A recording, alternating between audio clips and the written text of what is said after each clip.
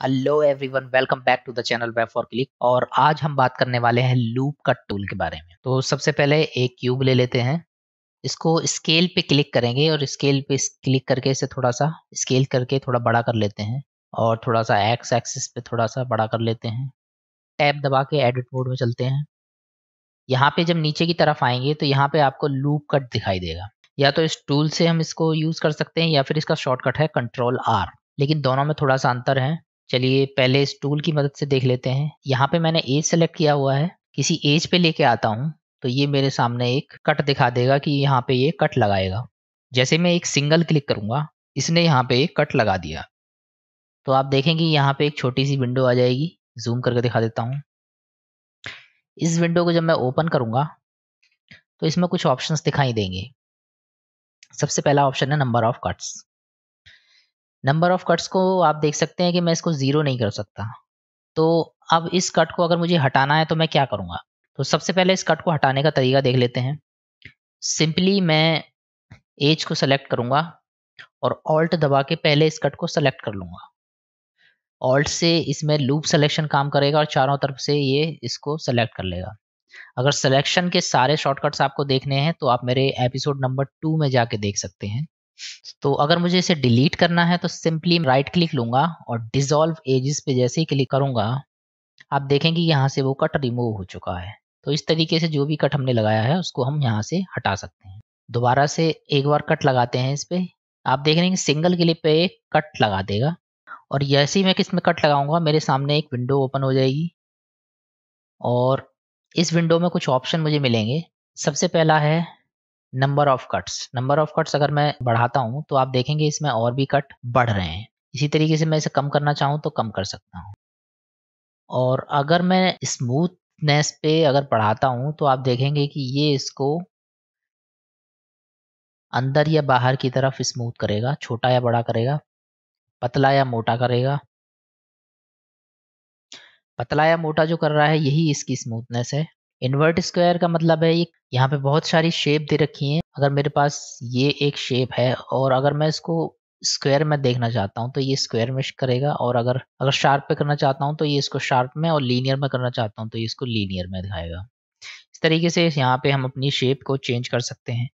Factor जो हमने cuts लगाए हैं, उसको आगे पीछे कर सकते हैं।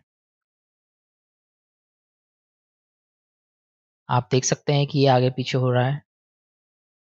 कंट्रोल जेड कर लेते हैं।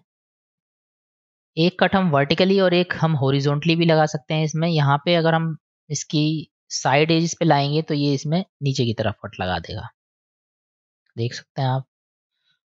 अगर मैं फेस को सिलेक्ट करके इसको टिक करूँगा तो आप देखेंगे कि इसमें इसने कट लगा दिए हैं। तो ये जो लूप कट है, ये बेसिकली किसी भी ऑब्जेक्ट को काटने का काम करता है। कंट्रोल जेड लगा दबाते हैं। आप शॉर्टकट की बात करते हैं। शॉर्टकट कैसे अलग है? इसका जो शॉर्टकट है, वो है कंट्रोल आर जैसे ही मैं कंट्रोल आर दबाऊँगा, ये कट लगाने के लिए एक्टिवेट हो जाएगा। और स्क्रॉल व्हील दबा के मैं इसमें अपने नंबर ऑफ़ कट्स बढ़ा सकता हूँ, या स्क्रॉल ऊपर या नीचे करके इसको नंबर ऑफ़ कट्स को कम या ज़्यादा कर सकता हूँ। अगर मैं एक कट लगाता हूँ और एक क्लिक करूँगा, उसमें एक सिंगल क्लिक पे ही ये कट हो जाता था, लेकिन इसमें अगर मैं एक क्लिक करूँगा तो ये मुझे दो एरो बना देगा। अगर मैं चाहता हूँ, अब आप देख रहे हैं कि ये मेरा जो कट है वो डिसबैलेंस हो गया है। अगर मैं चाहता हूँ ये कट बिल्कुल मिडिल में वहीं अपनी पोजीशन पे आ जाए तो मैं राइट क्लिक ले लूँगा।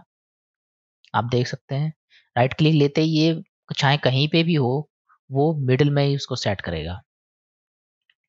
लेकिन कंट्रोल आर दबा के अगर मैं इसमें इसको कहीं और ले जाके कट कर लगाना चाहता हूँ तो मैं वहाँ पे कट लगा सकता हूँ। अगर मैं इस कट को मूव करना चाहता हूँ तो फैक्टर से मूव कर सकता हूँ। और बाई चांस अगर मेरी विंडो चली जाती है तो उस विंडो को मैं दोबारा नहीं ला सकता। लेकिन फिर भी मैं इसको अगर मूव करना चाहता हूँ तो ऑल्ट दबाऊँगा और इस पर क्लिक करूँगा तो ये लूप सिलेक्शन कर देगा। और अब मैं मूव टूल का इस्तेमाल करके इसको इधर से उधर ले जा सकता हूँ। तो ये तरीका है, जब कट लगाने वाली विंडो अगर यहाँ से रिमूव हो जाती है तो हम इस तरीके से इसको मूव कर सकते हैं।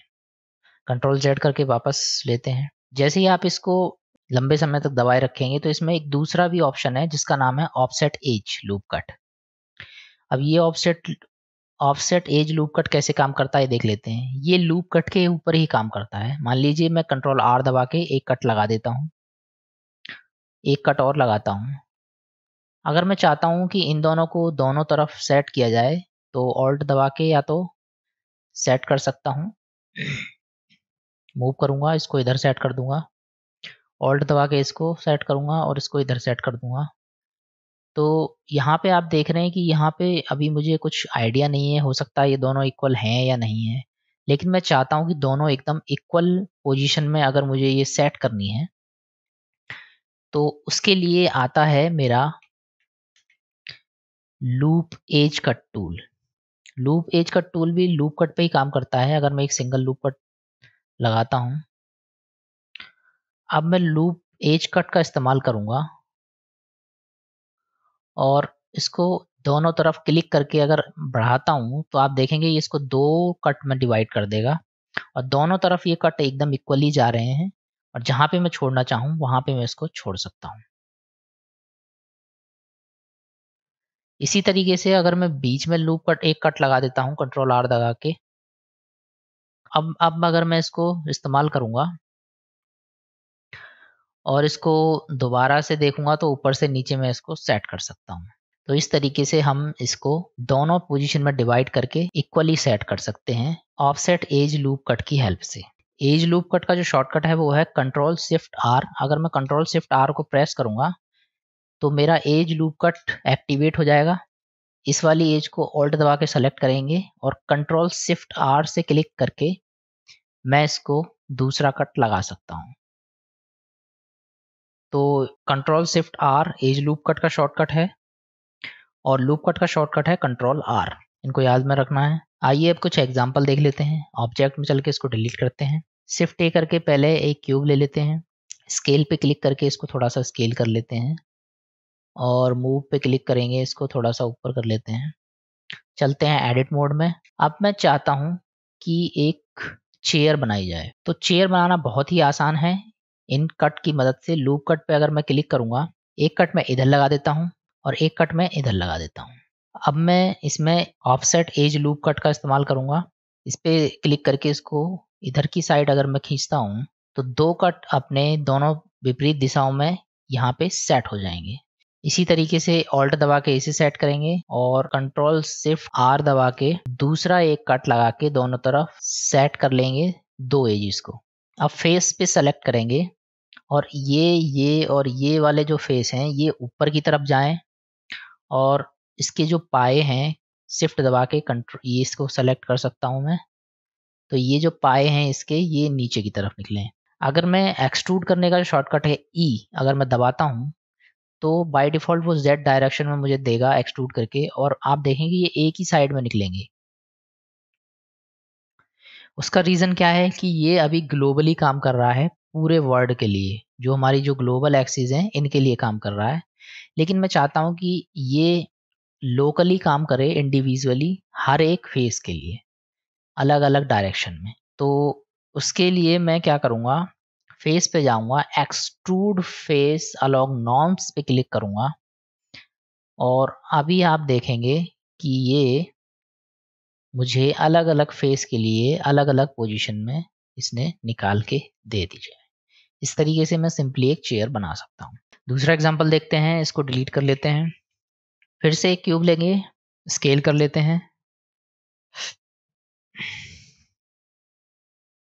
इस बार एक टेबल बना के देखते हैं। मूव टूल पे करके इसे ऊपर कर लेते हैं। एडिट मोड में जाएँगे।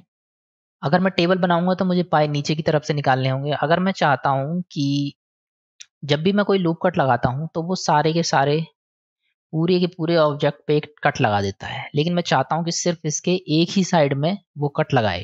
इसके लिए क्या करूँगा, मैं फेस को सेलेक्ट करूँगा इसका और वाई दबाऊँगा। वाई दबाने पे क्या होगा कि ये जो फेस है वो अलग हो जाएगा।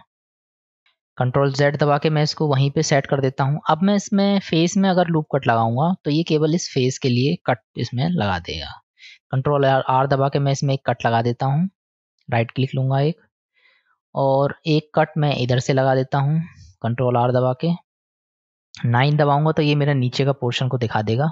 अब मैं इसको ऑफसेट एज लूप कट है। इसकी हेल्प से ये जो, इसकी दोनों तरफ़ मैंने कट लगाए हैं, ये मैं साइड में कर सकता हूँ। लेकिन अभी मेरी एज सेलेक्ट नहीं है तो मैं, मुझे एज सेलेक्ट करने के लिए ऑल्ट दबा के इस पर क्लिक करना होगा। कंट्रोल शिफ्ट आर दबाऊँगा और इसको यहाँ पे सेट कर लूँगा। इसी तरीके से ऑल्ट दबा के इस एज को सेलेक्ट करूँगा कंट्रोल शिफ्ट आर दबाऊँगा और इसको यहाँ से सेट कर दूँगा। अब मैं यहाँ से ये पाए एक्सट्रूड कर सकता हूँ। फेस पे सेलेक्ट करूँगा और यहाँ से इन फेस को पकड़ के मैं नीचे की तरफ़ ई दबा के कर सकता हूँ। आप देख सकते हैं कितनी आसानी से मेरी टेबल बन चुकी है। तो ये था लूप कट और ऑफसेट एज लूप कट। अगली वीडियो में हम जानेंगे कि नाइफ टूल को कैसे इस्तेमाल करते हैं। और चैनल को अभी आपने सब्सक्राइब नहीं किया है तो सब्सक्राइब कर लीजिए, क्योंकि मैं आगे लाने वाला हूँ एनिमेशन की बहुत ही अच्छी वीडियोस मिलते हैं नेक्स्ट वीडियो में। Good bye.